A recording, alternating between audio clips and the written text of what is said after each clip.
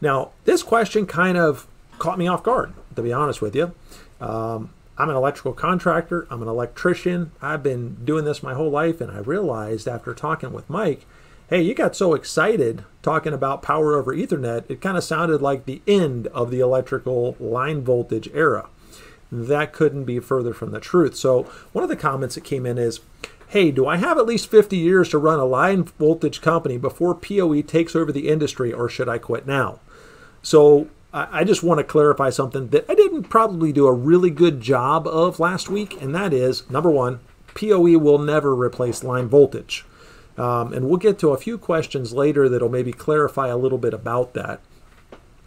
My excitement is more about adopting what is new in our industry.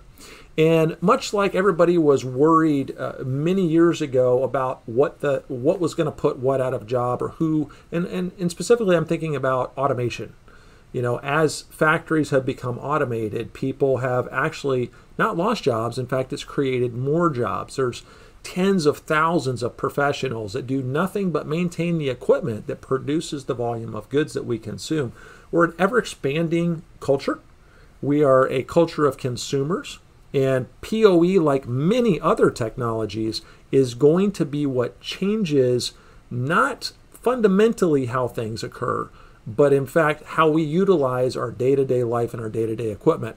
And so my excitement about this, I'm one of these kind of people that I'm always wanting to research and I want to look for the next best thing and, and I try to stay two steps ahead of the industry.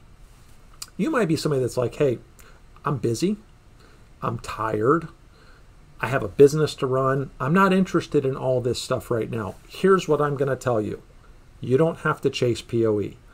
When the technology becomes ready in the market, and we've seen this with many things, uh, we could look at wiring methods, MC cable, for instance, right? MC cable wasn't, it came to the market, it was new, nobody used it, now it's a big deal.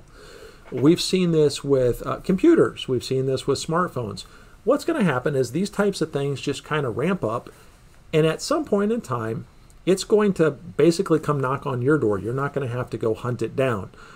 What I want to do and, and what my hope is, is that you'll take the information that I'm presenting and you'll use that just maybe even just in the back of your head as a tickler so that when somebody knocks on the door, you're like, you know what? I actually watched a presentation on that. Not only do I know what it is, but I know a little bit about it, and I am or I'm not interested. And, and most importantly, you're not caught off guard like, oh, PoE? Uh, I don't know what you're talking about. We, we really want to make sure that we're just at least aware of what's going on. So, do you have at least five years, 50 years to run a line voltage company before PoE takes over the industry? Um, I have no idea.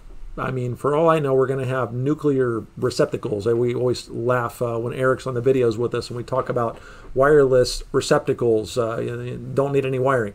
Um, but in all seriousness, uh, of course, you have 50 years. Uh, there's nothing on the technology front that I'm aware of that's going to be replacing line voltage anytime soon.